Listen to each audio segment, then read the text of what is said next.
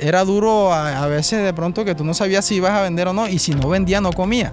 Yo trataba de que en vez de ir donde la persona llevarle mi problema, miran, si no vendo este aguacate, colabórame, porque si no, no como. Iba tratando de ser una solución para ellos. Y la gente me preguntaba, ¿qué vende? Chicha rubia. Y entonces, como estaba acostumbrado a escuchar la chicha normal, que era la misma, ¿y cuál es esa chicha? Bueno, es una chicha tradicional que sirve para aumentar la capacidad sexual, saca nalga. Entonces, entonces yo le decía. Esas técnicas te Sí, Eso sí, solo le funciona si va a un gimnasio. Le decía yo a la gente. Jamás yo había visto que en mi pueblo habían tantas oportunidades como cuando me quedé en la quiebra, como cuando estaba endeudado, como cuando fracasé en la universidad. Le presento el proyecto de Your Lady y Your Lady me dice, desde hoy se convierte también en mi sueño. Cuando esa mujer me dijo así, yo dije, me voy a casar con ella.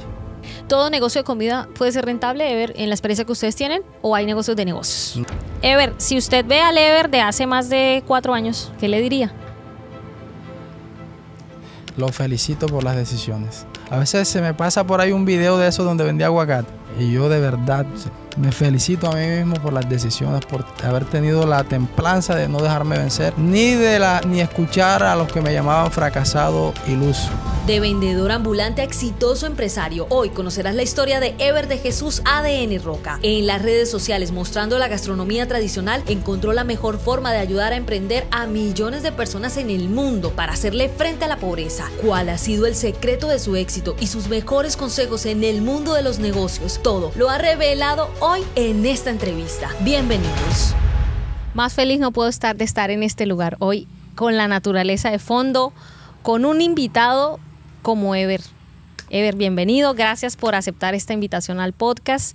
Es un esto es un plan que teníamos hace mucho tiempo y mire que gracias a Dios ya 2020 se estaba planeando ya la entrevista. Sí, sí, sí. Estábamos, pero en, en espera, pero bueno, ahí estamos. Gracias a Dios estamos en este lugar. Bienvenido.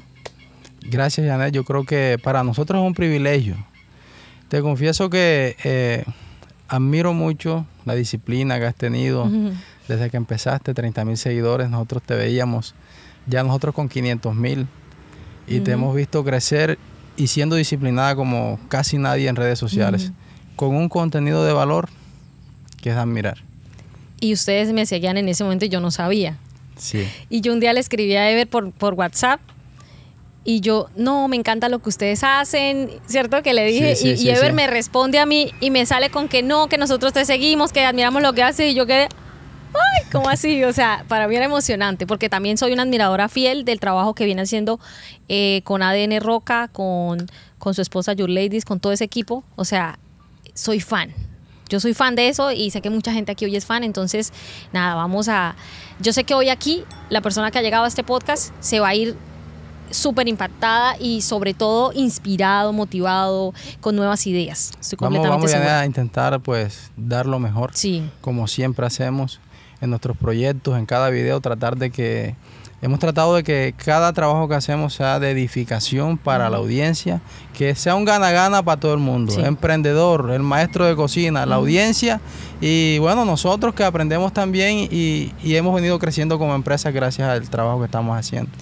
Ever, a mí me gustaría que comenzáramos hablando un poco de su historia, de, de los inicios, porque, porque es bien impactante.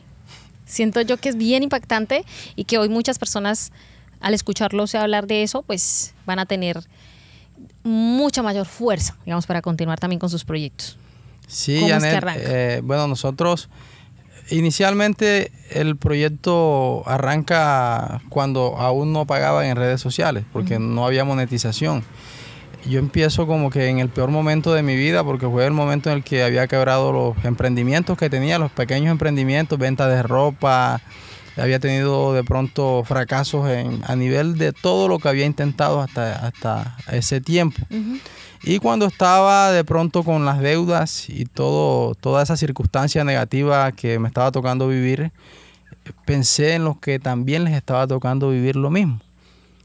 Y deseaba en mi corazón que no hubiera más gente sintiéndose así. Los jóvenes que de pronto tomaban, eh, debido a las deudas, debido a que no les había ido bien en la universidad, tal vez, eh, tomar la decisión fatal de dejar de vivir. Eso me movió a mí y ver el desempleo, o sea, porque tener deudas en ese momento como estaba yo y sin trabajo, pues es, duro cuando tienes que te están cobrando, que te están acosando, el que es una cuestión que no se la deseamos a nadie, la verdad. Estando en esa situación, yo empiezo a vender. O sea, no tengo trabajo, no tengo empleo, tengo que crearme la oportunidad yo mismo. Empiezo a vender en la calle productos como pescado, la yuca, vendedor ambulante contra toda crítica, contra porque sabía que sí, a veces la duda de la pena, la vergüenza que daba salir con, una carretilla, vender la mojarra, el bocachico. Y, pero pensaba, bueno, ahí una, para levantarme tengo que hacer sacrificios, tengo que renunciar al que dirán. Y empecé así, vendiendo comida, vendiendo productos como el pescado en la calle. Y entonces, eh, en ese proceso, como me relacionaba con pescadores y campesinos, me di cuenta de que a pesar de que yo la estaba pasando feo, había gente peor que yo. Y la escasez de oportunidades que había, pues hubo una imagen que, me motivó mucho a, trabajar, eh, a, a, como echarme la situación al hombro, y fue la de un niño, hijo de un pescador, durmiendo en el suelo, pero sin piso, sino en el barro prácticamente, o sea, en la arena. Estaba dormidito ahí, yo le pregunto a la mamá, ¿por qué está durmiendo ahí? No, que no tenemos colchoneta. Y yo no puedo creer que esto, que esto suceda. Entonces, eh, le pedí primeramente a Dios sabiduría y le dije, bueno, yo quisiera ser quien se eche esto al hombro, generar oportunidades y enseñar a generarlas a otros. Porque así, si yo le enseño a un pescador cómo crear un, emprendimiento a partir de, cosas que le rodean, como el mismo pescado, no sé, un restaurante especializado en esto, eh, creo que va, él va a poder generar un empleo por lo menos, yo genero otro y así, si son 100, son 100 personas generando otra oportunidad, la de ellos y la de algún vecino que esté también pasando lo mismo.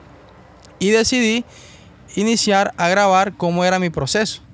¿Para qué? Para que quedara documentado y no solamente enseñar en mi pueblo o donde yo viviera, que podía ser Barranquilla, Cartagena, la ciudad donde estuviera, sino que a través de los videos los jóvenes que estaban pasando por una circunstancia igual, las amas de casa, las madres solteras, pudieran tomar esas ideas y este, también ir emprendiendo, aplicándolas para generar ingresos y mejorar la calidad de vida de su familia. Es decir, ante la escasez de oportunidades, yo quise volverme experto en generarlas a través de lo que nos rodeaba en nuestro pueblo o nuestra ciudad donde vivimos y ir mostrando eso, e ir mostrando eso en las plataformas y que cualquiera que lo pudiera ver, que estuvieran las mismas, tomara esa misma idea, la aplicara y pues se ayudara a salir adelante. Mm. Eso fue mi inicio en redes sociales. Eh, documentar para ser ejemplo de que se podían lograr las cosas sin hacerle mal a nadie. ¿Usted estudiaba, digamos, antes, o sea, en qué trabajaba? Yo... Antes de eh, quedar desempleado. Bueno, no, no, mire, yo, yo, yo era estudiante universitario. Ah, ok. Estudiaba odontología. Ok. Eh, la carrera la dejé tirada estaba totalmente desenfocado de la vida. Eh, ahí aprendí muchas cosas, las oportunidades que dejé pasar. Mis padres me lo daban todo. Era una persona que no nos faltaba nada desde niño, pero cuando ya dejo la universidad, que tengo un niño, yo me enfrento a la realidad de la vida. Estaba con que no tenía, por un lado, ninguna herramienta académica, no era, era bachiller pero tampoco había aprendido a hacer muchas cosas en cuanto al trabajo. Y lo que más o menos sabía hacer era el negocio, vender, porque mi mamá, mis padres siempre fueron emprendedores, eh, siempre han tenido negocios y eh, mi abuela también, entonces era de lo que más ideas tenía. Sin embargo, nunca pensé pues eh, llegar a, estar en la situación de que me tocara a mí vender pescado, por ejemplo cuando ya me di cuenta que tenía que tenía responsabilidades, eh, que tuve que buscar las formas de ganar dinero porque ya no era ya no era el día que yo quería, tenía que buscar dinero para pagar deudas, para para el alimento de mi hijo, para, el sustento diario. Ya la cosa fue poniéndose de otro color. Y fue donde me di cuenta de las oportunidades que había perdido, el valor de la oportunidad. Entonces, Janet, empecé a ver qué oportunidades me quedaban a mi alrededor. Y habían cosas que yo nunca había visto como oportunidades. El emprendimiento, el aprender a vender, el tener el carisma para acercarme a una persona, ofrecerle un producto sin que me rechazara. Me fui volviendo en, eh, en, experto en identificar oportunidades a mi alrededor, al punto de ver en la gastronomía tradicional, o sea, yo veí el conocimiento de mi abuela, de mami Mayito, de mi mamá, en cocina los vi como, ven acá, si yo aprendo a hacer chicha, esto es una oportunidad de trabajo. Si yo aprendo a hacer eh, deditos de queso, que le llaman pequeño también, esto es otra oportunidad. Entonces empecé a identificar las oportunidades y a aprovechar toda oportunidad debido a las consecuencias de no haber aprovechado las oportunidades anteriores. Bien dicen que uno a veces, uno a veces tiene las cosas enfrente y uno no las ve. porque no necesita. Ajá. Pero cuando llega la necesidad, como que todo se pone apretado. Duro ser vendedor ambulante, duro eh, esa vida. ¿Tiene alguna anécdota que nos quiera compartir hoy de algo que le haya pasado, digamos, siendo vendedor ambulante? ¿O qué fue lo más duro enfrentar esa realidad de empezar a, vender así? Yo creo que lo más duro de eh, fue el inicio. Lo más duro fue tomar la decisión, porque después yo me lo disfrutaba. Yo veía eso como mi escuela, mi escuela de ventas. Eh, yo pienso que tiene mucho que ver cómo vemos la vida, cómo vemos las circunstancias. Porque ese momento negativo, Janet, después de unos meses, estando todavía, no teníamos redes sociales ni nada, yo lo identifiqué como el mejor de mi vida. Porque gracias a eso, yo aprendí a ver la vida realmente como es y a, y, a valorar las oportunidades que tenemos alrededor. Jamás yo había visto que en mi pueblo habían tantas oportunidades como cuando me quedé en la quiebra, como cuando estaba endeudado, como cuando fracasé en la universidad. Nunca había visto mi pueblo, mi región, como un tesoro al que podíamos de pronto nosotros eh, a partir de, lo que teníamos, mm. sacar nuestras familias adelante.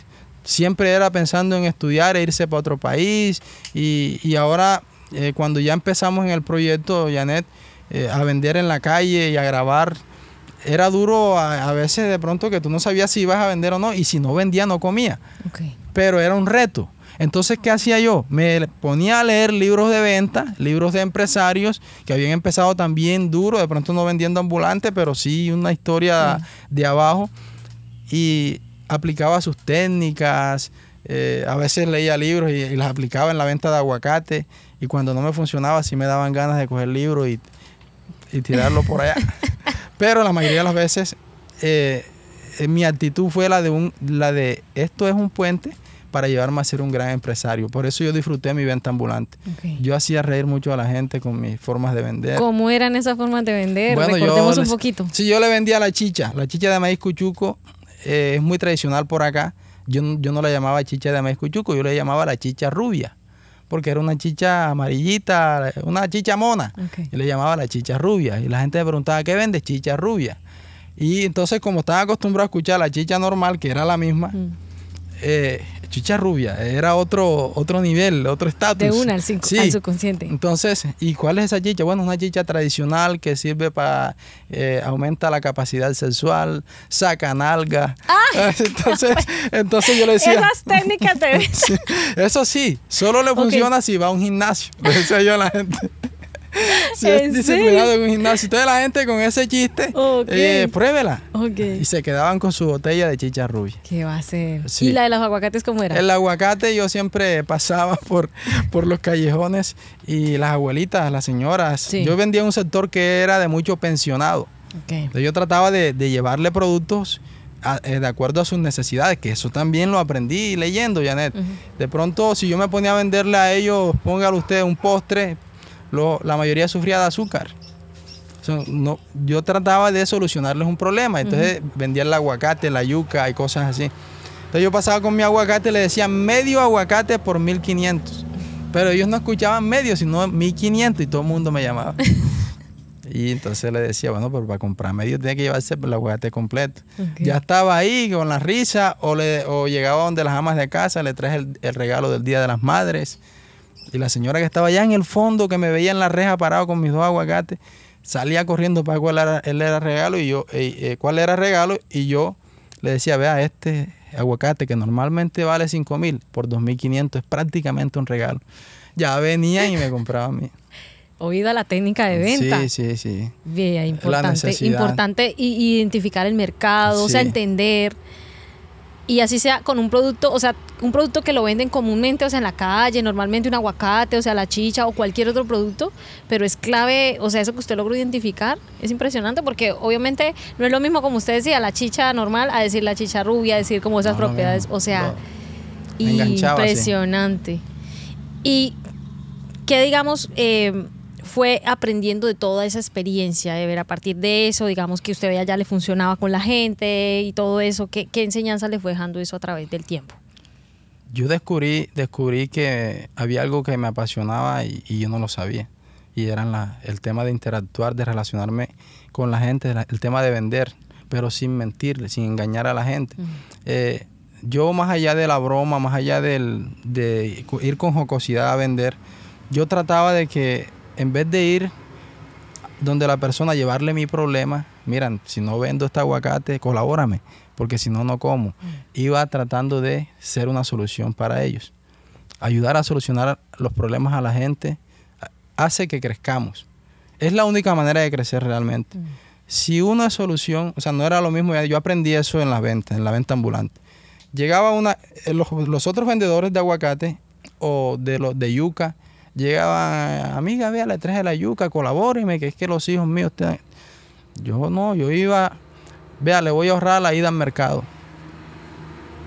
Recién arrancada de la orilla del río Magdalena. Más fresca, más saludable, cuida a sus hijos, cómpreme una libra de yuca. Le estoy haciendo el favor de traérsela acá.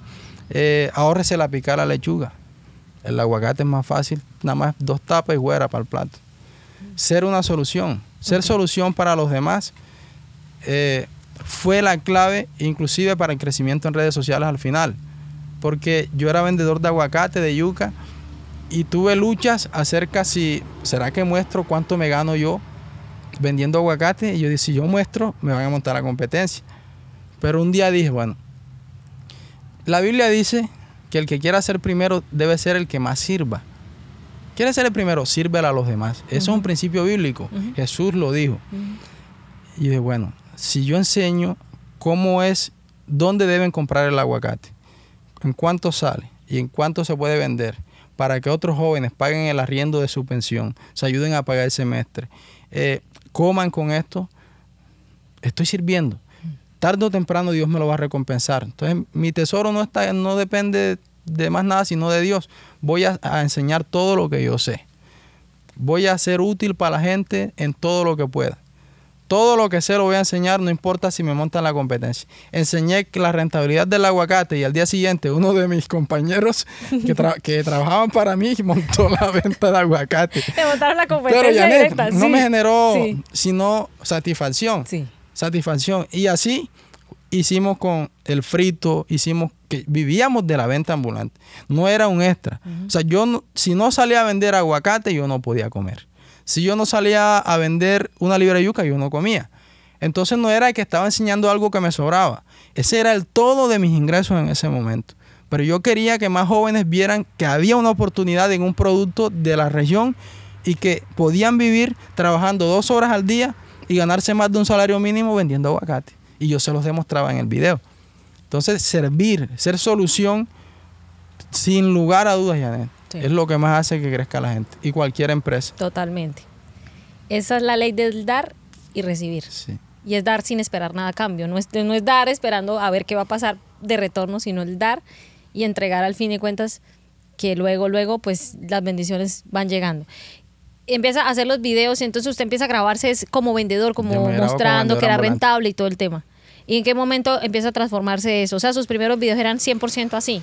En- en- Mis primeros videos, eh, bueno, ya hablando del tema de redes sociales, para cerrar eh, lo de la venta ambulante, eh, quiero decirles, cuando vayan a tomar una decisión como la de vender, como yo, en la calle, y sientan vergüenza de hacerlo, piensen en el propósito, no en el que dirán. O sea, ¿a dónde me va a llevar esto? Para mí la venta ambulante era un puente a convertirme en un gran empresario.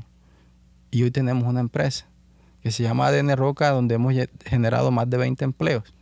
Hemos llegado a ese nivel y gracias a Dios, no es a donde aspiramos, es a mucho más, pero hemos dado pasos. Después de ser un desempleado que no tenía ni para comer a veces. Entonces es eso, el propósito tuvo mucho peso y me hizo olvidarme de el qué dirán. Total. Y, y yo creo que a eso le complemento, Ever, que yo, yo le pongo que son mucho más de 20 empleos. O sea, el impacto que ustedes con su proyecto han tenido le ha generado un retorno a la gente que ustedes han impactado, que han sacado en sus videos, que han mostrado. O sea, yo me imagino que el impacto es, es mayor. Yo me en, imagino. En o sea, pandemia, Janet, en pandemia nos escribieron de Bélgica. Habían cerrado una empresa donde, o sea, cerraron por pandemia.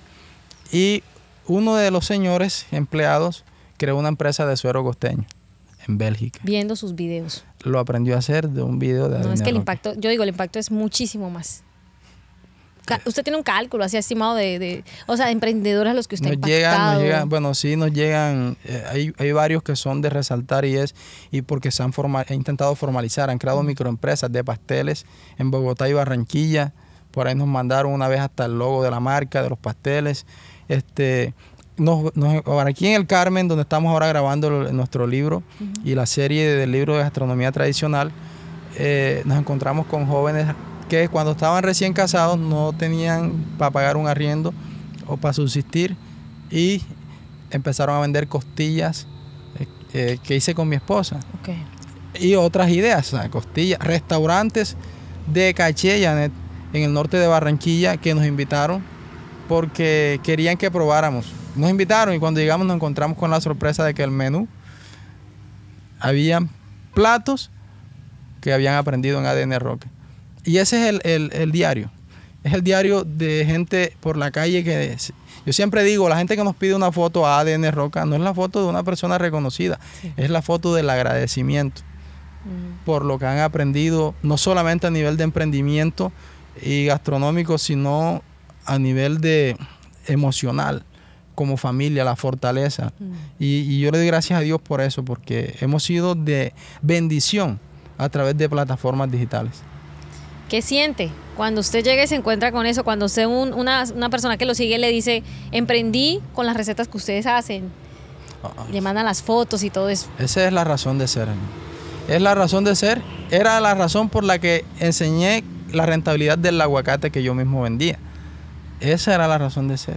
Qué bonito que el propósito se esté cumpliendo. Total. Porque eh, no pagaban las redes sociales. Hay gente que inicia en redes sociales con...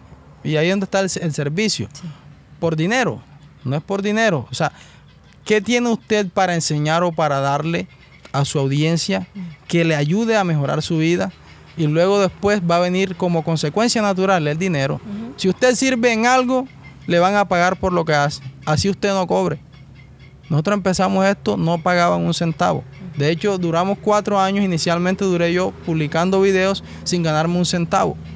¿Por qué? Porque no andaba detrás, había una visión mayor. Yo decía, voy a enseñar a crear, voy a ir aprendiendo a crear empresas y voy a mostrar cómo paso de ambulante a empresario y generar empleo y después a un empresario a nivel mundial que está sirviendo a la gente y voy a ir subiendo eso, pero pensaba que eh, los ingresos siempre iban a ser solo de las ventas de nuestros negocios hasta que llegó el boom de la, de la monetización y eso nos ha servido como una fuente de financiación y capitalización para invertir en otros negocios. Siempre, siempre en su mente estaba como, voy a ser empresario, de, esto es temporal. eh, siempre, siempre condicionado en su mente, digamos, a- a- al objetivo que usted tenía de, de- Sí. de impacto. Sí, sí por, por el tema del desempleo que yo mismo viví, por el tema inicial Mm. que me llevó a vender en la calle, por el tema de ver que los pescadores tienen una buena época que son dos meses en el año donde hay bastante pescado en mi pueblo, por ejemplo, y el resto del año pasando trabajo. Entonces yo dije, necesita una oportunidad eh, eh, de, de trabajo formal y constante, porque comen dos meses y el resto del año pasando hambre. Entonces, ese, ese tema de, de- de querer ayudar a solucionar el tema de, de la falta de oportunidades de trabajo fue lo que me ha motivado a querer convertirme en empresario. No es más nada, sino que yo me di cuenta que los empresarios generaban oportunidades de trabajo y yo dije, yo quiero aprender eso.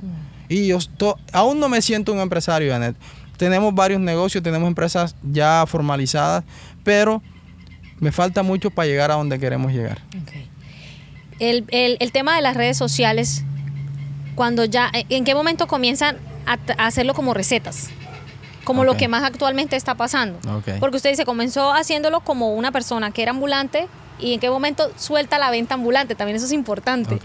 Cuando dijo, ya no voy a vender más en la calle, ya esto, o sea, ¿cómo fue ese momento? Bueno, eh, el tema de las recetas entra porque yo vendía galletas yepacorina, la carmera, el aguacate carmero, el aguacate también del interior del país cuando se escaseaba el del Carmen, que era el que más pedía la gente. Eh, pero también vendía yo comidas preparadas. Yo vendía pasteles de ambulante también, pastel de arroz, el pastel de cerdo y con pollo, que es muy uno de los platos más fuertes de, de la región caribe colombiana. Entonces yo venía y le compraba a una señora, a un señor, me vendían 50 pasteles a 2.500, yo los vendía en 5.000 y me di cuenta de la rentabilidad de los alimentos. El tema es que yo no sabía cocinar. Ya, por eso yo no podía hacerlos yo mismo. Entonces yo mostraba la rentabilidad del pastel, pero nunca cómo se hacía. Luego me empecé a asociar con emprendedores. ¿Asociar de qué manera? Yo le decía a ellos, mira, vamos a hacer unas arepas de huevos. Yo, yo, yo voy a vender hoy arepas de huevos. De igual manera, era mi, yo tenía que vender, porque si no, estaba maluco el arriendo. Era lo que más sufría, el arriendo. Entonces yo decía, tengo que vender. No podía darme el lujo de no vender. Yo cuando, después que ya muestro el aguacate, la yuca, el suero, el queso, empiezo a vender pasteles y dije, quisiera que de pronto eh, encontrar la manera de poder aprender, pero también enseñarle a otros a que los hagan, porque este negocio es rentable. Mm. Y fui donde una señora que sabía hacer pasteles y le dije, eh, yo pongo el dinero de los ingredientes, partimos las ganancias, me permite hacer el video, sea, yo grabo todo y la ayudo. Y así. Entonces hice esa primera prueba, funcionó, mm. vendí mis pasteles, fueron rentables y luego dije, bueno, vamos a hacer ahora otro de los productos que yo vendo. Vamos a enseñarlo a hacer paso a paso. Ahí llega Your Ladies, que es lo más importante que me ha pasado en mi vida. Sí. Dios y Your Ladies. Está acá detrás de cámara. Me hubiera gustado tenerla acá, pero de pronto eh, ya eh, creo que va a ser. Sí, en otro, en otro video va a eh, estar con nosotros también compartiendo. Sí, entonces yo conozco a Your Ladies viviendo, pero en las tablas, Janet, porque a mí no yo no había recibido un centavo. Ya habían videos virales, pero a mí no me pagaban. Sí. Eh, entonces, yo me caso con Your Ladies, empezamos, duramos un año durmiendo en el suelo, en un colchón. Un colchón que me había regalado un hermano mío de un cuerpo, colchón viejo. Entonces, eh, yo no sabía lo bueno, o sea, yo me caso con Your Ladies hacía el arroz, la cuestión, pero yo no sabía que era tan buena en cocina, ¿sí me entiendes? Era lo básico. ¿Por qué no sabía? Porque no teníamos para comprar carne. Okay. No teníamos para comprar eh, pollo. Comíamos el, el muslito de pollo que valía 800 pesos un muslito. Eso era, y no podíamos comprar una cabeza de ajo porque valía lo mismo con un muslito. Y mejor compramos dos muslitos y compramos aceite y lo fritamos. O sea, era lo más básico porque no había para comprar ajo no había para como para crearse un plato que yo dijera, ¿tú dónde aprendiste a hacer eso? No podíamos hacerlo. Entonces nos tocaba hacer era el arroz blanco con un choricito de 200 pesos picado, dos, dos butifarritas que vendían en la tienda, las más económicas. Y no, o sea, no había yo en ese tiempo que teníamos ya de casados, no me había dado cuenta del potencial que tenía en la cocina porque no tenía para comprar los ingredientes. Hasta el día que yo le dije, bueno, eh, quisiera hacer peto para vender. Pero ¿a quién le decimos? Tengo, que pagarle y no tengo para pagarle a la persona. Y ella me dice, yo sé hacer peto. Yo le dije, segura. Teníamos ahí como 10 mil pesos. Y yo compré la libra de maíz y el litrico de leche. Y dije, bueno, vamos a hacer uno aquí en casa para ver. Mm. Lo hicimos y dije, sabe a peto, man.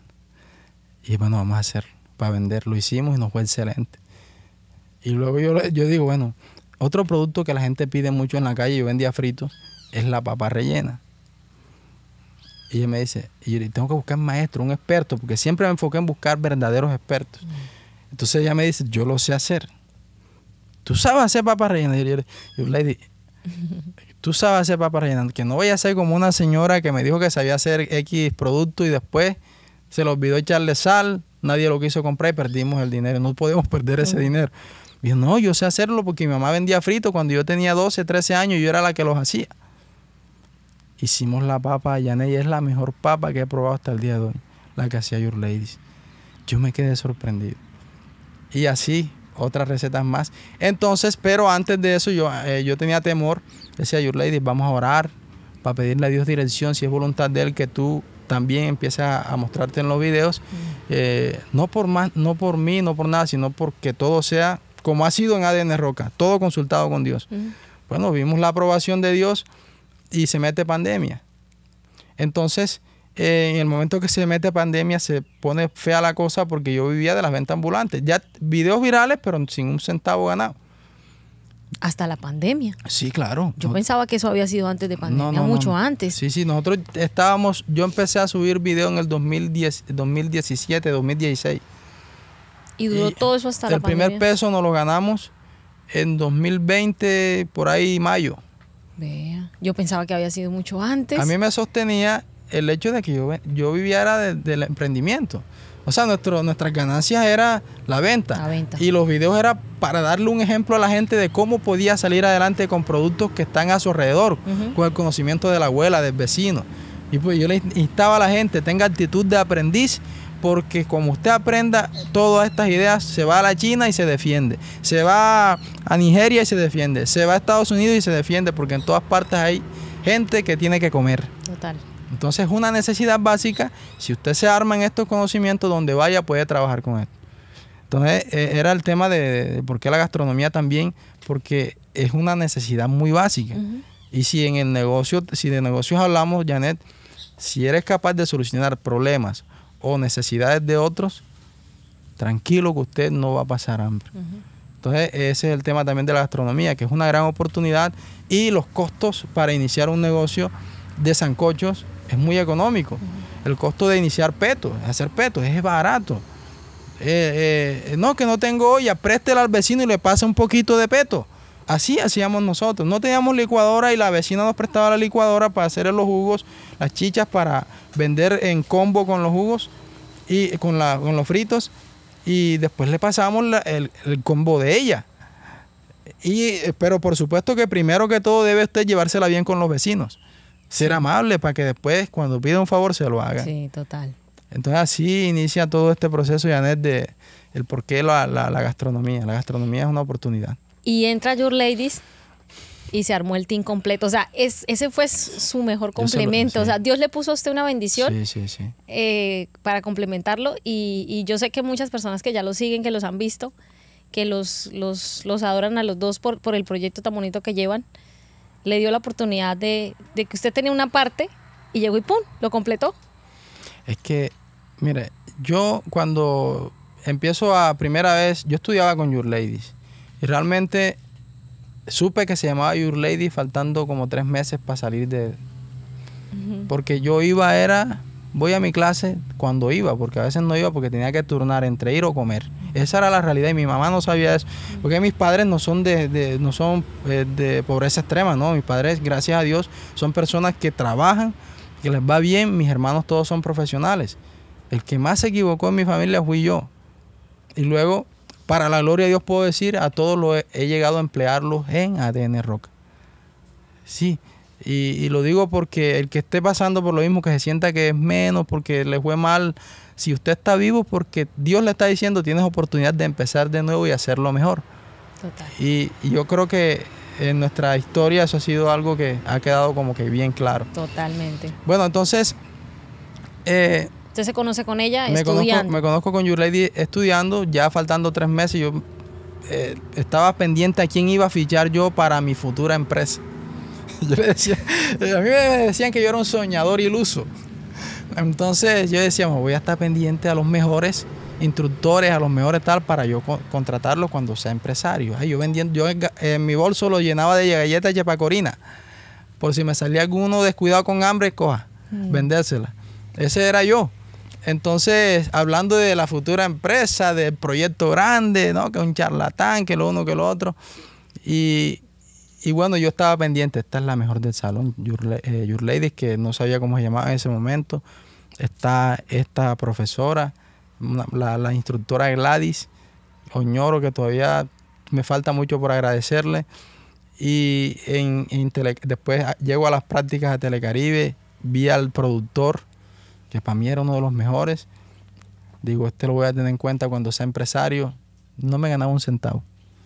O sea, yo estaba feliz en ese momento, literalmente, eh, porque estaba comiendo tres veces al día ya, normal, ya era la vida normal que mis papás me habían dado cuando niño, porque ya estaba en un nivel mejor.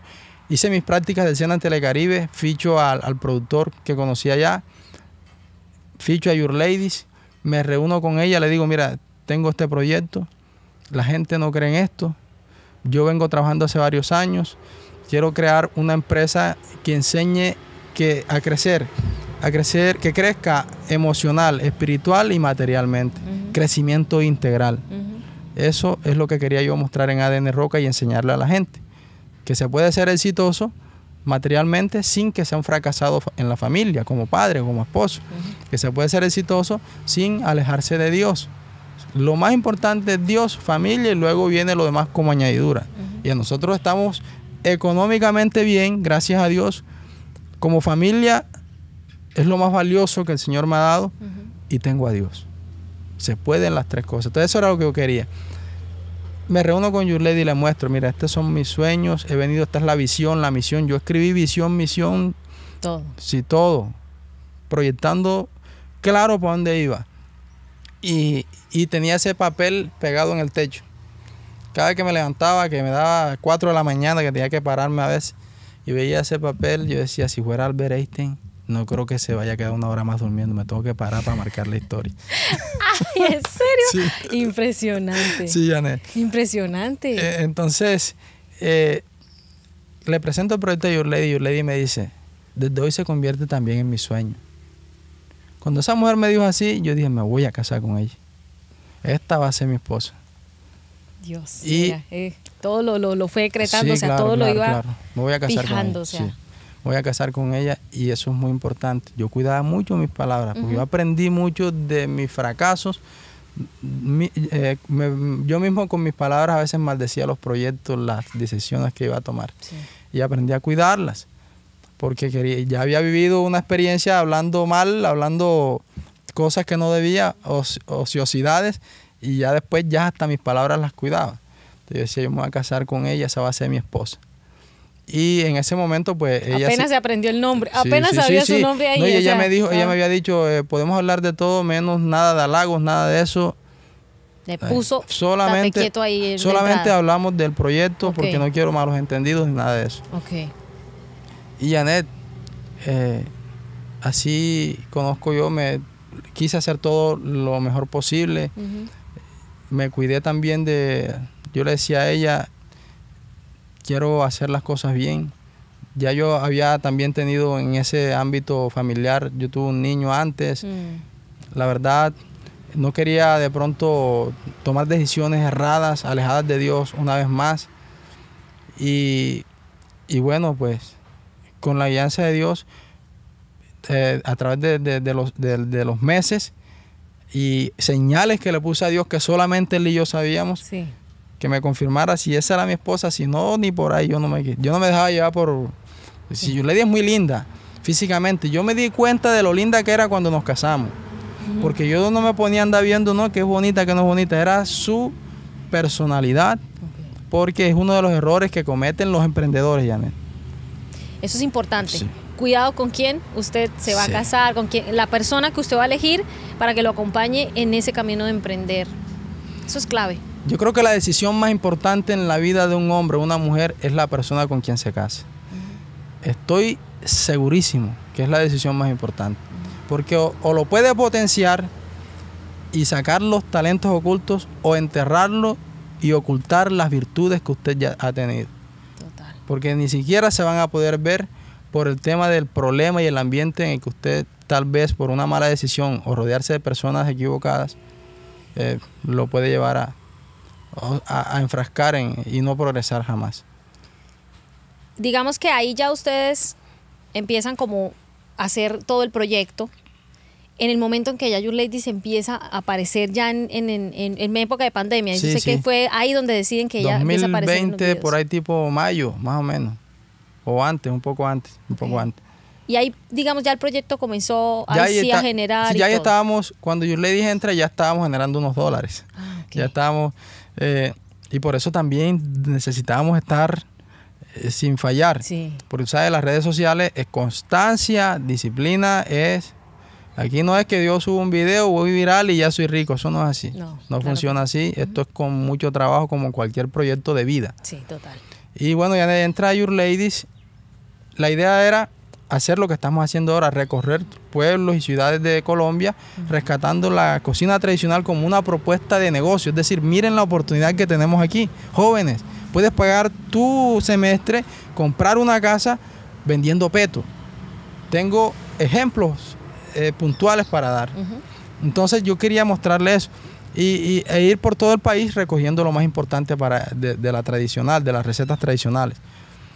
Me- se mete pandemia y me dio temor. Por ejemplo, yo, yo empecé a grabar con abuelitas y tuve que suspender porque los abuelos eran los que más eran vulnerables Sí. al tema de la pandemia. Y yo dije, bueno, yo- mi amor, mira, eh, lastimosamente perdimos familiares eh, de 50, 60 años. Y dije, me da temor llegar a grabar con una abuelita que está sana. Yo no sé si yo, a veces eran asintomáticos. Yo no sé si yo llega a tener eso. Llego donde esa abuelita y le llega a pasar algo. Yo no quiero tener esa responsabilidad.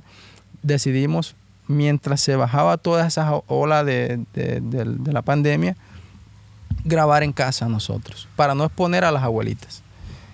Esa fue la razón. Hubo gente que dijo, no, que ya se volvieron reconocidos y entonces ya no quieren darle oportunidad a las abuelas. No, era que queríamos evitar nosotros pues afectarlas a, ellas. Más allá de que muchas nos escribían, Ever, ven acá a tal corregimiento, a tal vereda, ¿no? Sí. Por cuidar de pronto de, de que no les fuera a pasar nada. Y comienzan a ensayar la- a enseñar las recetas Your Ladies preparando, que además es, o sea, es que es Sazón. que tesa en la Me cocina sorprendió, cómo la verdad, Dios prepara. lo puso. Dios puso a Your Ladies. Impresionante.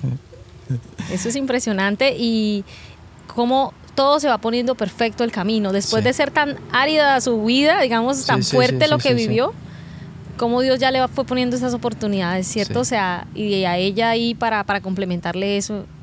¿En qué punto ya el 2020 entonces deja las ventas ambulantes? Bueno, cuando prohíben que salgamos, prohibieron, es que el tema, Janet, es que... Es que a mí me tiene impresionada eso de ver, porque es que yo pensaba en mi mente así de que, de que, de que Teníamos años. Claro, y que en pandemia usted no era vendedor ambulante, sino que eso había sido parte de su historia, No, pero no, yo no. pensaba que era como años atrás y ahora estoy sorprendida de escuchar que en pandemia usted todavía era un vendedor Yo ambulante. vendí arepa de huevo hasta dos días antes de que cerraran las vías.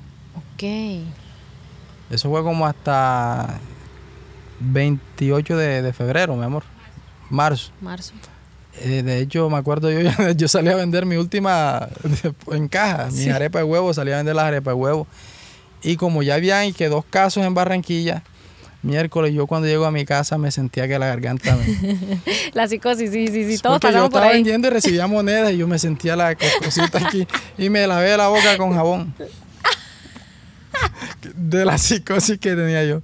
Entonces cierran las vías y yo digo, ¿y ahora qué voy a hacer? Sí. De la- cuando me la lavé se me quitó la fiebre, me quitó todo. No puedo Sí, sí. ¿En serio? Sí. Esto no me lo esperaba. ¿Qué? ¿Con Sí, jabón? Sí. Ay, no puedo Tenía creer eso. miedo, tenía miedo. Yo veía las noticias y entonces, y mi amor, mira, ya está aquí. Yo me siento así, tengo, me siento, siento el cuerpo a- adolorido. Ay, no, me hizo, me hizo llorar de la risa. ¿Cómo que uno se- Bueno, yo creo que más de uno le pasó en pandemia. Se puso a lavarse la boca con Sí, jabón. o sí, sea, sí, eso es sí. olímpica. en Y digo, serio. ¿qué hago? Yo, yo tengo que asegurarme porque bueno, habían dos casos en Barranquilla y yo creía que yo era el tercero. yo no, señor, yo voy a tomar todas las medidas. Ay, no, no puedo con eso. Me la barriga reírme. ¿Cómo así? Uy, no, no, no, impresionante. Sí, así fue literal. Y ahí dejó de vender. Bueno, entonces ya sale la noticia, está prohibido los vendedores. Ok. El miércoles y yo con ese dolor de cabeza y ahora cómo hacemos. As- Asintomático ya. Sí, sí. Ay, no, no, no, no, no puedo con esa anécdota. Lo siento, pero me da mucha risa porque, o sea, yo no me imagino eso. No, no, entonces. La psicosis. eh, mira, cierran, eh, me, me prohíben vender en la calle. Claro. Porque es que los clientes míos eran los que tenían negocios y Ah, no podían ok. abrir ya. O sea, yo salía a vender en la 93, en sectores de la playa, eh, en, super- en otros, ¿cómo se llama? Centros comerciales. Mm, Eh, yo iba a vender en la calle, en el semáforo. eh, y resulta que tenía un niño recién nacido que era Ezequiel. Y Matías que ya tenía 5 o 6 años. Mm. Ay, un niño recién nacido, no me alcanzaba antes y ahora dejando de vender arepa menos. Y Dios mío, ¿qué hacemos? Y fue donde desesperadamente, bueno, oramos a Dios y no queríamos, perdón, no quería quedarme en Barranquilla, porque en la ciudad es más duro. Sí, claro. Nos fuimos para el pueblo, para Córdoba, donde mi mamá, y ahí seguimos. Sí vendimos una que otra arepa en Córdoba, pero ya vimos el resultado de redes sociales, empezó el primer pago, justo cuando cerraron las vías. Qué bendición eso, Sí, ¿no? O sea, sí, cómo le cambió la vida. Y, y entonces le voy a decir algo para los que me están viendo. Cuando usted tenga un proyecto en pareja, cosa que fue importante para mí fue el apoyo de mi esposa. No había sueño que yo le comentara a ella que ella no me dijera vamos a hacerlo. Busquemos cómo lo hacemos. No hubo una sola queja mientras estuvimos du- durmiendo en un colchón. Mientras nuestro menú diario era un, un choricito de do- 250 pesos con arroz blanco porque no había ni para una cabeza de ajo. Entonces, todo, todo ese tramo no vi una sola queja de ella y eso para mí, Janet, yo me quedaba sorprendido. Claro. Si esta mujer no se No todo el nada. mundo se va a esas condiciones y lo hubiera acompañado en ese proceso. y en ese proceso eh, duramos un año ahí en el colchón viejo ese que por ahí está una foto. ok.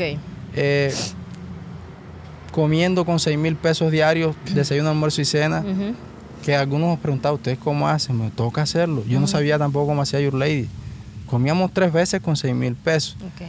Buena arepita de trigo que comimos. No nos quejábamos de eso, pero sí sentía a veces que necesitábamos comer proteína. Yo llegaba desesperado, yo necesito comer algo de carne. Necesitamos Fuerte. proteína. Sí, algo, algo, algo, algo que no. Contarlo es una cosa, No, sí. pero vivirlo, Y, Fuerte. y bueno, llegó un momento que me quedó, que nunca se me olvida. Eh, llegó el momento en el que no teníamos ni para pagar el arriendo, ni para comer, ni para los buses para salir a vender lo que íbamos a vender. Entonces yo en ese momento le dije, Yurleis, mira, no tenemos ni para comer ni para pagar el arriendo, pero por aquí es, porque estamos haciendo las cosas bien, porque nos estamos esforzando, porque somos diligentes, no esperamos a que nadie nos venga a buscar, salimos nosotros a generar la oportunidad y al transcurrir de unos meses ya estábamos contratando personas capacitadas como el productor, eh, eh, editor de- del canal de televisión, eh, Isaac, que tiene ya cuatro años con nosotros. Empezamos a contratar camarógrafos y a generar empleo en otros negocios, porque fuimos creando unidades de negocios, invirtiendo todo lo que nos estábamos ganando, para nunca más volver a estar en la situación donde nos habíamos encontrado. O sea, esa escasez nos enseñó también a hacer, a valorar cada peso que nos ganábamos. por fin, eso que usted visionó, cuando iba a vender esas, esas galletas y cuando usted le puso el ojo al productor y cuando sí, sí, por fin se le estaba cumpliendo. Sí. Y Fue todo así. se fue poniendo como en su lugar. O sea, el crecimiento de ustedes empezó a ser escalado así rápido, rápido, rápido Claro. en redes sociales con tema de los videos. Sí, una vez que dimos con el primer... Yo sabía, o sea, ¿sabes qué pensaba? Yo decía, lo que hacemos es muy bueno. La demora es que reciba el vitrinazo que se necesita. O sea, que haya un video viral. Una vez haya el primer video viral, la gente va a volverlo a ver porque esto sirve para la gente. Esto es muy útil lo que estamos haciendo. Y así voy a Eso sí, dimos el primer gancho y yo le dije a Your Lady, esto es como una pelea de, de bolseo. Ujú. Si damos el primero, hay que noquear. Sí. Con uno solo no basta. Hay Sí. que seguirle dando golpe, golpe, golpe, golpe, golpe, hasta posicionarnos como marca, hasta lograr la empresa, golpe tras golpe tras golpe. No descansemos. y, y ese es un golpe contra la escasez, contra el hambre, cada golpe eh, eh, cont- contra el momento en el que el niño se enfermaba y no teníamos para un remedio. Ese golpe yo sí lo quería dar. Y es lo que le digo a la gente. Eh, mira, yo no sirvo para eso, me dicen algunos. Na- ¿Quién nació para ser albañil? Muchos lo hacen porque es una necesidad trabajar. No, que yo no sirvo para ponerme frente a una cámara a enseñar lo que sé. Y ahí sí naciste para, ponle tú, para vivir trapeando un piso para que te paguen 20 mil pesos al día. Entonces, ni, un- ni lo uno es malo ni lo otro es malo. Pero hay que entender de que hay que aprovechar las oportunidades que tengamos a la mano y cuando esté frente a nosotros la necesidad y podamos darle un golpe tras otro, tras otro, hay que darle uno tras otro hasta derribarla y que nuestras familias mejoren la calidad de vida. Y es prepararse para esa oportunidad definitivamente. Sí, prepararse. leer, Janet. Capacitarse como eh, vivir como si ya tuviera lo que está deseando. Mira, yo estaba viendo un profesional, viendo yo un editor en un canal de televisión. Un tipo que cuando me ganaba 300 mil pesos en ese entonces, me volví loco. Y el salario mínimo e, eran 800, 900 mil pesos, porque tenía 300 mil fijos todos los meses. Imagínese. Entonces, entonces yo en ese momento ya yo estaba, era, aunque mi materialmente no se veía, en mi mente, o sea, espiritualmente, emocionalmente, ya yo estaba haciendo selección de personal. Se sentía, lo vivía. Lo vivía como si ya. Estaba seguro, había una seguridad. Hay una seguridad. Hay una seguridad porque todavía estamos en camino. Bien dicen que hay, digamos que toda la vida se ha dicho que hay que ver para creer, pero es al revés. Hay que creer para verlo. Usted lo creyó y lo vio realizado. Primero es la fe y después la señal. La gente espera la señal antes de la fe. Hay que creer primero. Exacto. Hay que creer primero. Eso bíblicamente fue así. Sí. Moisés puso la vara y después abrió el mar. No fue que vio que el mar se abrió y después puso la vara. Primero es la fe. Primero tiene que haber el acto de fe, pero no de la fe, eh, esa fe falsa que dicen, no, yo lo creo o yo sé que yo voy a hacer esto, pero está sentado en una silla camine, camine hacia allá, por mucho que no parezca el camino, por mucho que parezca que, nunca va a salir de donde está, aunque le digan que vas a hacer tú eso, tú no sirves para esto, no sirves para lo otro. La fe es eso, ver, ser capaz de ver lo que todavía materialmente no está. Y eso lo va a ir creando uno, pero acompañado con las acciones. Total. Como dice la Biblia, la fe sin obra es muerta. O sea, no existe, tú no existe lo que tú crees jamás si no te mueves en en dirección a eso que quieres. Total. Y empiezan a crecer, digamos, con redes sociales, empiezan a, ya tener personal, o sea, a delegar funciones también en todo esto. Sí. Y, empiezan como a, generar, bueno, más oportunidades, ¿no? Es que usted empiezan a, volver a retomar, o sea, vuelven a retomar las grabaciones también con maestros de la cocina, empiezan a hacer todo esto ya de manera como más intensiva, ¿cierto? Cuando, cuando ya la pandemia empezó a bajar, empezamos a incluir personas cercanas a la casa, que sabíamos que eran personas sanas, nosotros también, o sea, para no afectar a, la gente, a ninguna persona particular en caso tal, algo, y fuimos grabando así. Luego, eh, en tema de redes sociales, Janet, yo sé que usted tiene la experiencia, hay que estar evolucionando, pero sin salirse del propósito. Total. Lo que funcionaba en 2020 tipos de videos, tomas, formatos, ya no funcionan hoy. En Facebook, por ejemplo. Entonces fuimos evolucionando el tema de los formatos sin salirnos del propósito que era enseñar a la gente cómo mejorar su calidad de vida partiendo de ideas de bajo costo, sea recetas, redes sociales que también ya empezamos a enseñar. Tenemos células en diferentes municipios. Aquí en el Carmen está la, el Carmen de Bolívar, tenemos la última célula que creamos, o Club ADN Roca, que es donde capacitamos a personas de la vereda en el negocio de las redes sociales. Es decir, cómo empezar desde cero eh, según el perfil, el talento, la experiencia, no importa si no es profesional ni si, y si no sabe manejar un teléfono. Le enseñamos el tema de redes para mejorar la calidad de vida y el programa se llama Redes Sociales como herramientas contra la pobreza. Hemos estado trabajando en eso, entonces ya no solo enseñamos recetas de donde vamos, sino eh, el negocio de las redes. ¿Por qué? Porque es en lo que hemos vivido. También enseñamos agronegocios, porque hemos experimentado negocios en el agro. Entonces... ya son varias líneas, ya está las recetas como un modelo de, mire para que aprenda y emprenda. También el tema de redes sociales, agronegocios y, y, nace también la escuela. O sea, usted le puso un nombre. Escuela ADN Roca. Escuela de Negocios ADN Roca. ¿Y eso lo tiene visionado para llevarlo cómo? Bueno, eh, tenemos la, posibilidad presencial. Sí. Que es la que estamos instalando en cada pueblo donde vamos. Y la que, por mucha gente nos dice, Ever, yo quiero ir, pero yo vivo en Estados Unidos. Okay. Quiero aprender. Entonces nosotros hemos creado una plataforma que está por lanzarse, ya se la mostré a ustedes acá detrás de cámara, eh, para que se puedan capacitar en estos temas de cocina tradicional para negocio, la escuela de, recetas tradicionales, o eh, enseñadas por verdaderas maestras. O sea, no por el que está en la academia, que es otro tipo de, cocina, sino por la abuelita que tiene 50 años vendiendo sancocho mondongo. Por la señora que tiene 50 años haciendo pasteles. Son los socios de ADN Roca. O sea, son socios, se convierten las maestras en socios porque eh, junto a ellas armamos todo una clase magistral que incluye todos los detalles, costos, eh, procesos para escoger los ingredientes, esas técnicas que solamente la da la experiencia de la señora de tantos años haciendo pasteles, ya sabe que la hoja de bijao tiene que hacerla de X manera porque si no se sale amargo o cuál es la mejor manera de hacerlo. Por, esas son las maestras. Y contamos también el equipo de maestros con eh, financieros, gente experta en finanzas, en, marketing y en redes sociales que para que la gente reciba toda la clase, eh, desde cómo se hace, cómo se sacan los costos, cómo aprovechar las redes para vender y si quiere cómo monetizarlas. O sea, sale redondo, o sea, completo. Ahí le van a entregar toda la información de valor para que la persona. cuando yo vendía en la calle, le hubieran dado me hubiera encontrado con esto. Claro. Ojalá. Es que esto lo creamos también porque yo busqué esto y nunca lo encontré. Yo quería, ¿qué, sirve, qué servirá? ¿Qué venderé? Que sea rentable. Y nunca encontraba la información y lo voy a crear yo.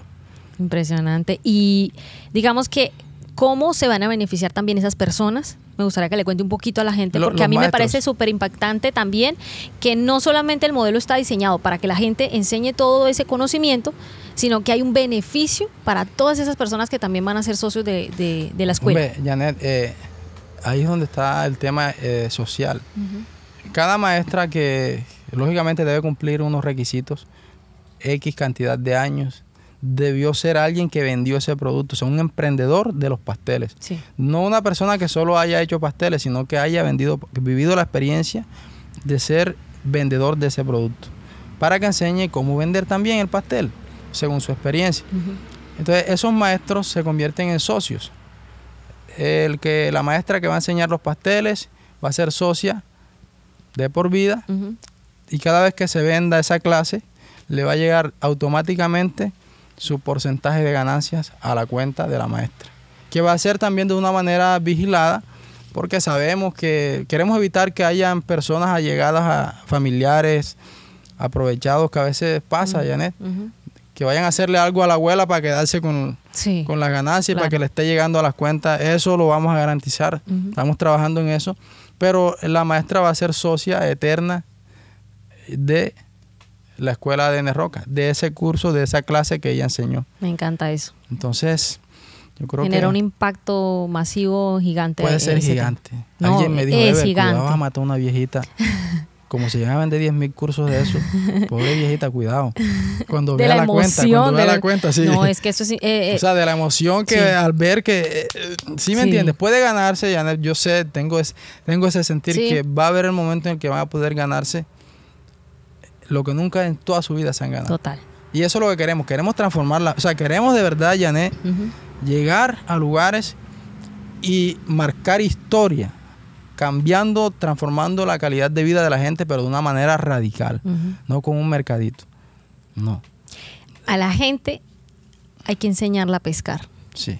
Sí, opina igual, le parece que así. Claro, claro. Y, y mire, los esa, esas señoras, hay mujeres de, mucha importancia en la, gastronomía de los pueblos o de cualquier otra eh, otro campo que se van con cipotes conocimientos que nunca fueron valorados. Nunca se les dio lo que merecían. Nunca se les dio reconocimiento ni el pago que merecían. Total. Yo creo que a través de esto, esas mujeres pueden recibir mucho más de lo que han recibido. Yo sí quisiera que quienes están a esta hora conectados en el podcast nos dejen saber en los comentarios qué opinan hasta aquí de lo que han escuchado y sobre todo qué opinan también de esta idea de, esta escuela de negocios de, ADN Roca y de todo lo que nos está contando Ever que ustedes que están allí también sean partícipes hoy de, este, de esta conversación y, sobre todo que ustedes también pues estén conectados con, con, ese propósito que tiene ADN Roca, porque cada vez que usted ve un video de ADN Roca, tiene que saber que no solamente está generando una situación de que usted ve el video y ya simplemente, sino que también está generando oportunidades a otras personas, a estas personas que participan en sus videos, está permitiendo que ustedes creen esa escuela de negocios, o sea, porque todo es como una estructura, todo es como que todo se une, al fin de cuentas todo se une. Ese es el apoyo más importante también que puede dar la gente que hoy está viendo este podcast y que también lo siga ustedes en sus redes sociales, porque ya son cuántos cuántos seguidores, digamos a la fecha. Eh, en, YouTube son 270 y pico mil. En Facebook millón setecientos y pico. Y en otras redes más o menos más de dos millones en toda la comunidad de, ADN Roca.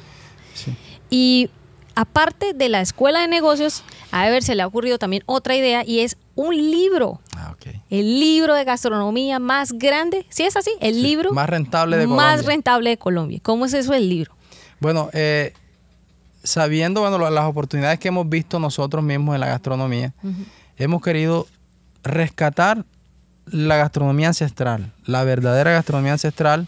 Por eso los maestros son las abuelas, los abuelos de 90, 80, 100 años, los que enseñan los platos. Y eso también proponerlo ante el mundo como una oportunidad para emprender. Entonces el libro de la gastronomía tradicional más rentable de Colombia lo hemos iniciado y hasta el día de hoy van dos capítulos. Eh, Plato Magdalena, el Carmen de Bolívar, Ahorita vamos a otras regiones de mucha riqueza gastronómica que sé que va a ser muy útil, Janet. Para el que obtenga el libro va a ser muy útil porque ahí va a estar también cómo se saca la estructura de los costos, todo. O sea, va para emprendedores y para amantes de la cocina tradicional. Les prometemos que no nos vamos a guardar nada y que en cada video, Janet, eh, la maestra enseña transparente la receta como la hace su abuela, como se la enseñó su mamá de hace 80, 90 años. Entonces va a ser, yo creo, insignia para nuestro país en el tema de la gastronomía. ¿Cómo ha sido la experiencia de, de, de, salirle a las regiones? Que era el sueño que de pronto ustedes tenían en pandemia, pero por la pandemia se les frenó en su momento. Ahora ustedes están, por ejemplo, en este momento que estamos grabando este podcast, estamos en el Carmen de Bolívar y en esta zona ustedes están de visita y, ¿Cómo, ¿Cómo, ha resultado eso? Ya salir, viajar con Your Ladies, con sus hijos y vivir esa experiencia. Quisiera que me comparta un poquito de eso. Bueno, eh, inicialmente está el temor, porque es la zona de confort la que estás dejando. Claro. Estás acomodado, te está yendo bien en tu pueblo, en el sentido de que puedes grabar allá, y tenemos otros negocios, la finca. Pero yo le decía a Your Ladies, siempre ya como que nos habíamos acomodado se pasó pandemia y dos años más y todavía estábamos ahí. Sí. Entonces yo le dije, mi amor, eh, hay que empezar a salir, a darle la oportunidad a otras personas, a rescatarlo de otros lugares. Pero yo no quiero salir solo por hacer videos. Ya, yo quiero ir con un propósito mayor. Habían miedos en el tema, porque hay que decirlo, Janet, en nuestro eh, orden público, cuestiones. Pedimos a Dios dirección nos dijimos, nosotros no nos metemos con nadie. Vamos a ayudar a la región. Cada pueblo donde llegamos queremos hacer historia. Hemos llegado, eh, toda la familia, pues estamos todos, excepto mi hijo Mati que estudia en Barranquilla. Pero llegamos y el recibimiento de la gente es increíble. Es increíble, es increíble la amabilidad de la gente de las veredas las abuelitas, la, alegría de las abuelitas cuando estamos grabando con ellas, después cuando nos vamos, por favor, vengan de nuevo. Eh, ojalá que aunque se vayan del Carmen vuelvan por aquí. Eh, muy bonito. Hay cosas que nos gustaría solucionar, problemas, cosas como por ejemplo un acueducto. Para allá estamos apuntando. Yo quiero darle duro, meterle duro. Social. Meterle duro porque yo me gustaría de corazón donde llegue que no hay un acueducto, dejar un acueducto. Eso, Janet, sería lo que, lo que es la razón de ser. Sí. Muy bonito. Es que la gente que no tiene trabajo, enseñarles a crear su trabajo, su negocio, que emprendieran y de ahí en adelante pues sea autosostenible. ¿Sí me entiendes? Dejarles sus emprendimientos. De pronto no crear empresas nosotros como tal, sino enseñarles a ellos en sus lugares, aprovechar lo que tienen alrededor para generarse sus propias oportunidades, que es lo que hemos venido haciendo ahora. Pero queremos hacerlo a mayor escala. Ajá, y estamos empezando. Pero y será una correría por todo el país, o sea que los pueden esperar en todas las regiones. Sí. La idea es, todo el país. Hay lugares que se destacan mucho en la gastronomía. Eh, queremos incluir a todos los municipios. Lo que pasa es que aquí, por ejemplo, hay municipios donde llevamos tres meses Y si vamos a todos los municipios como nos lo proponemos, ahí la estrategia que queremos usar es no lanzar un solo un solo libro para todos Hay que municipios. como una enciclopedia, como algo Eh, así. varios tomos, Varias eh, tomas, sí. uno, Por región podría. O sea, la idea, esta es la idea principal. Sí, pero sí. en el camino, como cualquier idea, uno la puede ir Sí, perfeccionando. claro, claro. y Pero lo más importante es que tienen ya la intención y que ya lo están haciendo. Lo es que estamos estamos, nosotros viajamos a grabar este podcast, a conocer a Ever, a, a conocer este proyecto maravilloso de ADN Roca acá. Y, y los cogimos así, de correría por el país. O sea, ustedes están en su proceso haciendo la tarea. Yo quiero, tengo algunas preguntas relacionadas a la creación ya de los videos porque quiero que la gente comprenda que detrás de un video pues hay un trabajo fuerte que ustedes también hacen. ¿Cuánto tiempo se demoran, por ejemplo, para producir un video de los que la gente está acostumbrada a ver en las redes sociales, que ya ves como el resultado final, Sí. pero pues cuando se trata, por ejemplo, con una maestra o cuando lo graban con Your Ladies, ¿cómo es bueno, eso? Janet, nosotros eh, hemos hecho modificaciones en los formatos. Se ha dado cuenta la audiencia y usted también Sí. que lo hemos compartido. Resulta que eh, ahora, hoy por hoy, antes un video diario. Podíamos grabar hoy, mañana en la tarde ya estaba listo. Ahora son cinco y seis días, porque estamos haciendo lo mejor. Estamos tratando de contar la historia de la- del maestro que tiene sus 60 años de experiencia, del abuelo que con tanta alegría está enseñando. Eh, entonces, producir un video, por ejemplo, el de la galleta chapacorina, fueron seis días. Seis días produciéndolo y porque no solamente es grabar la receta, es el tema de la historia, de ir a Barranquilla a vender galletas y mostrar qué tan rentable es vender, ser distribuidor. Eh, luego, pues, investigar en diferentes fuentes la historia de la receta, comparar y tratar de dar una información lo más veraz posible, además de ir alimentándolo con una voz en off, audios eh, que, que resalten cosas importantes y que ayuden a la interacción del video. Ujú. Esos fueron seis días. Seis días dándole y, y le digo que a veces tanto trabajo y, y luego no da resultado. Sí. Para los que están empezando en redes sociales es muy importante. No porque usted haga lo que quiera hacer, le va a garantizar. Uno da lo mejor. Total. Puede ser rentable o no. Ese video, eh, ya tengo que decirlo para los que están empezando, ese video no recuperamos el dinero de la inversión, que fueron casi 3 millones. En ese video la producción.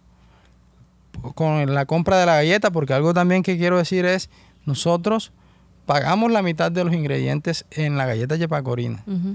La publicidad la damos gratis. Y compramos los productos que fuimos a revender a Barranquilla. El costo del transporte, o sea, la mano de obra, el editor. Esto es una cuestión que requiere de esfuerzo, pero, pero estamos contentos por el impacto que tuvo más de mil solicitudes en el primer día. Me encanta eso, que, que el impacto para la persona emprendedora en ese caso. Usted, usted me decía que, que usted tenía nervios de que a esa persona no, no le fuera bien porque usted veía que el rendimiento del video no fue el, como el esperado. Sí. Eh, lo, lo primero, Janet, y Sí. sé que a usted le debe pasar, Sí. no es cuántas reproducciones tiene el video, es qué tanto está vendiendo, qué tanto pudimos ayudar a ese emprendedor. Sí. Y sé que hay algunos que creen que no es así, pero eh, en nuestro caso sí. Me interesa mucho que la señora de Bajo Grande, donde grabamos el pavo guisado tradicional, sin condimentos artificiales ni nada, sí recibiera visitantes después del video. Y ella estaba muy contenta porque no dejaron de llegar los visitantes de ciudades, de diferentes ciudades del país. Eh, que la señora de los turrones de coco se convirtió en eh, maestra o emprendedora de dulces tradicionales, pero ya no local, sino nacional. Imagínese. Empezó a mandar para todo el país. Esos son los resultados más importantes de un video. ya. Totalmente. El impacto. Estoy de acuerdo y porque lo vivo también con los emprendedores, siempre que uno publica un video, más allá de lo que yo siempre les he dicho a las personas sobre la creación de contenido, porque esto a la, a la larga se vuelve nuestra forma de servir a la humanidad, de ayudar a otras personas, pero también eh, esa, eso que nosotros hacemos cuando subimos un video, ya ahí no- nosotros hacemos ese trabajo y ¡pum! subimos el video. Pero ya ahí no depende de nosotros, dependemos de algoritmos, dependemos de incluso la misma audiencia que tenemos, que son las personas que en últimas ellos se encargan de apoyar, de impactar, de, de comentar, de, de compartir esos videos y de hacer que a esa persona incluso le cambie la vida. Ahí está la importancia de ese apoyo que, que genera esta comunidad. Por ejemplo, usted que hoy está viendo este podcast, que después de ese podcast a lo mejor va a ir a, a buscar el canal de Ever y va a ir a apoyar también más ese video de la chapacorina o bueno, o cualquier otro contenido, porque es que además es súper el, el, el, el enfoque como ustedes lo dan, es que es tradicional, es en fogón de leña, esa, es, es todo, o sea, Es el- útil. Sí, o sea, Para la vida real es útil. Total. Usted puede enseguida iniciar un negocio con uno de los videos que va a ver. Con una de las enseñanzas de nuestras maestras, usted puede de inmediato empezar a ganarse más de un salario mínimo. Si aplica los conocimientos de eso. Total. Aprende la receta, cómo, cuánto se puede ganar y eh, las porciones, los tamaños de las porciones, en cuánto las puede vender. Porque es que además el tema con Ever es, ustedes no solamente muestran la receta y, y como tradicionalmente la hacen. Usted aparte, y eso también es otra cosa que yo destaco muchísimo, que usted al final le da la lista de ingredientes Sí. y le dice si es rentable o no es rentable, cuánto les dejó de margen, cuántos platos Sí. sacaron. O sea, la escuela está completa. Ahí o sea, le entrega toda la información a la gente. Me siento orgulloso de, lo- de eso. No, no es porque genial. seamos nosotros, Janet. No, no. nosotros miramos los videos y somos muy autocríticos. Pero Sí. yo me siento orgulloso de cada video que luego estoy en YouTube viendo, en el televisor. Sí. Digo, de verdad que es útil. No, impresionante. Y lo cómo le sirve eso, eso a la gente. Cuéntenme ustedes, que hoy están aquí, cómo conocieron de, de ADN Roca, en qué momento, por cuál video, de cuál receta, en qué momento conocieron el proyecto y qué les ha dejado de enseñanza. A mí sí me gustaría que aquí en los comentarios la gente dejara eso. Y si usted ha emprendido un negocio gracias a ADN Roca, viendo su historia, todos los videos que ellos han compartido, sería también muy bonito que la gente lo pueda aquí compartir y contar porque, porque eso es, eso es bonito. Cuando la gente le escribe, me imagino, o sea, todos los Sí, mensajes sí, que ustedes sí, reciben también, ¿no? Y el cariño de la gente o, o si aprendió una receta que le ayudó a enamorar más a su familia, también díganos en los comentarios cuál es. Hay anécdotas de todo tipo, ¿no? Con la comida. Uh. ¿Todo negocio de comida puede ser rentable, ver en la experiencia que ustedes tienen? ¿O hay negocios de negocios? No siempre. Eh, todo va a depender también de la, de la época, Janet. Hay veces que hubo un momento en el que vender papas rellenas no fue rentable, porque la papa se puso muy costosa. Ok. Entonces, es como el contexto. De pronto hay partes donde vender pescado es bastante rentable. Es más económico y consumen más pescado. Pero hay lugares donde la gente es alérgica. Mira el, el ejemplo de donde yo vendía los, los- los productos. Personas adultas de 70 años para arriba que eran pensionados. Ellos sufrían del azúcar, la mayoría, presión. Yo no les podía vender queso. Ahí no me era rentable vender. Yo llevaba y el queso se me desaguaba, se perdía peso y me lo tenía que comer yo. ¿Por qué? Porque ellos no podían comer queso. Entonces, no todo emprendimiento de, de gastronómico es rentable. Es más, el que es rentable acá puede que no lo sea donde usted está. Pero mire y escoja, que hay más de 300 ideas. Hay más de 300 ideas que la mayoría sé que sí le pueden ser rentables. Es decir, estudie el mercado primero, o sea, mire su comunidad, mire alrededor, qué tiene, qué identifica y así ya luego aplica, digamos, los conocimientos. Claro. ¿Quién se come todas esas recetas tan ricas que, que preparan, como por ejemplo cuando hacen con Your Ladies, que uno ve todo eso tan sancocho de cola, de no sé qué? Eh, bueno, hay tantas recetas. El único problema que yo tengo con eso es que yo las veo generalmente de noche. Yo le digo, a ver, yo no puedo ver esos videos porque es que los veo y de noche es terrible. El hambre es que le da a uno es común. impresionante. Y uno así con la, o sea, no. Es, es fuerte ver esos videos de noche porque le da a uno muchísimo hambre. Nos ¿Quién- escribe mucho la gente, "Eve, Sí. no, no, a esta hora no. sí. ¿Quién se come todo eso cuando ustedes Bueno, preparan en la casa? Cuando nosotros, cuando no vendemos, eh, no vamos a vender el producto, Sí. eh, todo el que llega y come. Visitantes, eh, gente de la casa, trabajadores, eh, amigos del amigo que estaba ahí. Y cuando no, pues eh, se manda para la calle, reparte, lleve la a X persona, X seguidor, aquí en el Carmen lo hemos hecho, este, lleve la X a X a X y la gente contenta. Pero la mayoría de las veces es para vender. Sí. Por ejemplo, eh, grabamos el, el- la galleta Yepacorina para vender, eh, los dulces para vender, el pavo guisado se vendió. Sí. Entonces, este, una gran parte es para, para vender, Sí. pero cuando no, pues se reparte entre todos los que estén ahí. Por ejemplo, cuando las hacen en el espacio donde, por ejemplo, en la finca, ¿cierto? Cuando ya ustedes las hacen así, Ajá. que no es con un maestro, digamos, ahí Ah, en el ok, LLS, ok, por ejemplo, cuando la hace ejemplo, Lady ahora solamente. estamos de vi- viajando de pueblo en pueblo. Ok. ¿Qué hacemos? mostramos una receta en familia, pero no estamos en ese, en ese formato. Lo que hacemos es compartir en familia y darles una idea más, pero no mostramos los costos ahí. Porque es más para darte la idea, mira, esto puedes hacer, te va a costar tanto, mira en cuánto lo puedes vender tú en tu casa.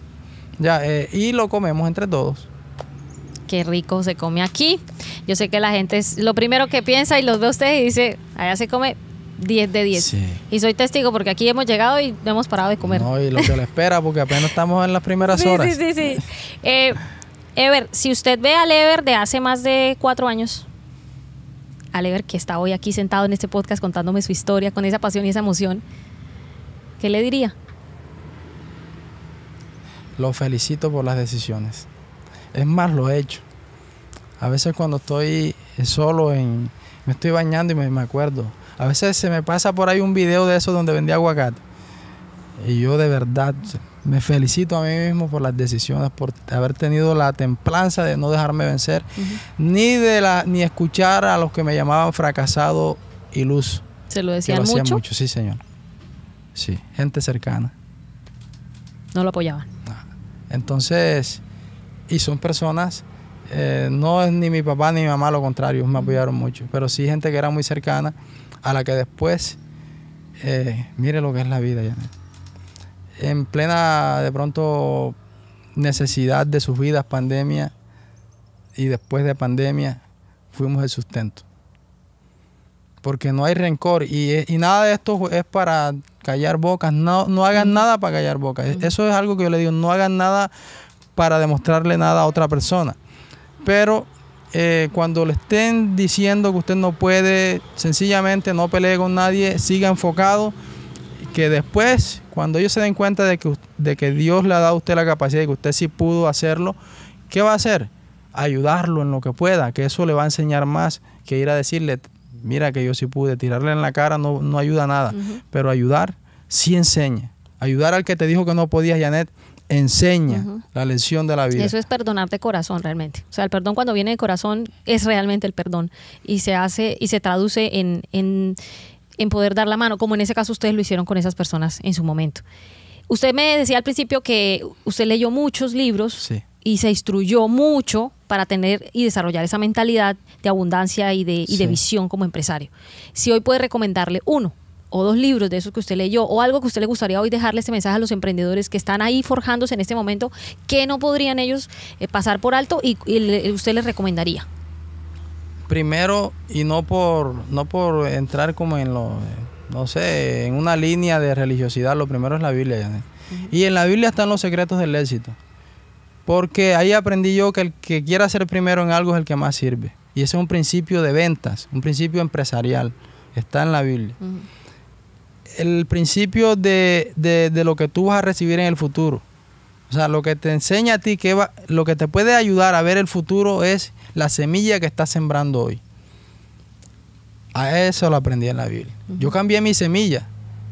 Y obviamente iba a cam- iba, mis frutos iban a ser mejores y diferentes. Cuidé de qué iba a sembrar, cuidé de mis acciones, de mis palabras, cuidé lo que iba a decir bueno o malo para no maldecir mis propios proyectos ni a mi familia.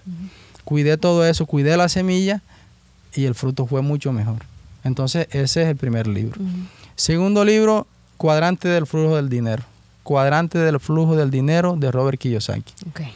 Yo me acuerdo cuando yo empecé a leer ese tipo de libros y habían empre- eh, emprendedores, emprendedores no estudiantes y administradores de empresas que me decían que no, que eso no sirve. Y ahí aprendí mucho más que eh, en libros mucho más... eh, Es que es más fácil de entender la, la contabilidad en ese tipo de ejemplos que da el libro del cuadrante del flujo del dinero. Y también hay un libro, pues, que es, es el número, sería el número 3, de Víctor Franklin, creo que es el autor. La experiencia vivida, mi amor, ¿recuerdas el nombre? El hombre en busca de sentido. Ok. El hombre en busca de sentido. Eso es como no solamente en el tema, ahí está la finanza en, en cuadrante de flujo del dinero, Sí. está el tema financiero y espiritual en la Biblia y está este que es para que usted aprenda de que todas las experiencias, dependiendo de lo que usted tenga en la cabeza, puede verlo como su fin, pero puede verlo también como un puente al éxito. Yo vi todo como un puente al éxito. Entonces esos tres libros me ayudaron demasiado y, y bueno, otros más de finanzas, que de pronto el nombre no, pero sí leí mucho biografía, la de Albert Einstein, eh, la de Steve Jobs. Eh, leí mucho sobre el, hay un hay un libro que la gente le tiene apatía pero no lo lee por, por solo verle el título que es piense y hágase rico Ah, no, ese es. Ese es un lujo de sí, libro. pote de libro Sí, sí pote de libro total. yo me la pasaba de biblioteca pública en biblioteca pública donde me dejaran entrar para aprovechar y leer buscaba todo sobre finanzas y emprendimiento y Es- un sinnúmero de libros Janet. Y es querer aprender a la larga, eso es Sí, lo que va a marcar la diferencia. Y el desarrollo personal, ¿no? Que hay que tener para afrontar luego, luego de, de esas experiencias, afrontar ese, ese éxito que puede traer. O sea, es, es como aprender a cómo también ir afrontando todo eso. Y me parece excelente que hoy tengan ustedes estas recomendaciones, que a lo mejor ustedes puedan ir por esos libros a lo mejor y, y- y instruirse. Es que es tan importante. A mí me parece que en el ejercicio que yo hago con los emprendedores, siempre les digo que quieran aprender, que por favor no dejen de aprender, que se instruyan en finanzas, que, que no suelten como eso, de que tenemos como la idea, ya la tenemos ahí desarrollada, pero luego no nos instruimos y eso no nos permite avanzar. Sí. Eso frena a la gente. Hay que aprender. Y, y algo que yo descontaba la plata del arriendo, era mi debilidad comprar biografías de hombres que había Benjamin Franklin y esos hombres que marcaron la historia porque ellos ya lo hicieron. No puede, a veces se nos dificulta ser amigos de un presidente, de alguien que ha hecho cosas que usted quiere lograr, sea negocio o sea cualquier rama profesional, como usted quiera. La forma más fácil de, hacer, de tener un amigo presidente es comprando el libro de un presidente exitoso, al que usted le guste, dependiente de colores políticos, su mode- el modelo que usted quisiera aplicar a su vida, la vida que usted quisiera ver reflejada en usted mismo, compre el libro, porque ahí él escribió sus experiencias más importantes y es como una manera de estar cerca de alguien que ya hizo lo que usted, lo que usted quiere lograr. Eso yo lo, lo hacía mucho. ¿Y ha pensado algún día escribir un libro de su vida, de su historia? Cuando, sí, claro, lo Sí. he pensado, pero falta bastante. Hay bastante por lograr para, para pero llenarlo pero yo, de- yo lo veo ahí, yo digo, Ever, aparte del libro del que están haciendo de las recetas y todo sobre la gastronomía, yo, yo siento que ahí eh, le cabe el libro suyo en un tiempo. Tenemos que hacer algo histórico. Sí, total. Estamos, estamos apuntando algo histórico Total. para que valga la pena leerlo. Total. Estoy muy feliz, Ever, de estar aquí, de que con esta brisa que nos está acompañando hasta ahora, en medio de matas de plátano, yuca, con un techo hermosísimo de... Esto es Macuma. Palma, Palma. Palma. Rancho ah, de ok, Palma. esto es Palma. Y que podamos estar aquí conversando de su historia, aprendiendo, porque yo estoy aquí como un aprendiz, escuchando de sus, de sus anécdotas, esa de la lavada con jabón no me la esperaba, la verdad que, que- que- no, no, no, no. O sea, eh, escuchar no solamente tal vez llorar, pero también reír y eso, eso a la larga es la vida. Entonces me siento muy bendecida hoy, me siento muy afortunada de estar aquí con ustedes, de compartir con, con usted, con Your Ladies, con su equipo, con su familia y bueno, venir, es, esto era algo como lo dijimos al inicio, planeado hace mucho tiempo, pero bueno, cosas de, de tantas cosas que se van presentando que en el camino nos permiten conectarnos en este momento y, y hoy me alegra mucho porque yo estoy segura en este momento que quien ha llegado hasta aquí hoy se ha llevado una gran lección de negocios, de emprendimiento y una gran lección para su vida. Muchísimas Amén, gracias, amén. Ever. Gracias. De verdad ti, que sí. Hoy sabremos. ¿Cómo es que dice Ever? Hoy sabremos qué tan rentable es verse el podcast completo. Gracias, gracias, gracias. Bravo. Dios lo bendiga. Genial.